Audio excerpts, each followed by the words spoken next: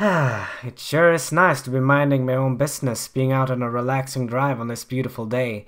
I sure hope that nothing unexpected will happen that ruins everything, although that's probably not very likely at all. Hey bro, you wanna fly over there? Yeah, sure, but let's just wait a minute before flying over that road three feet above it. Huh, yeah, right. Oh look, here comes a car, let's go right now! Holy shit!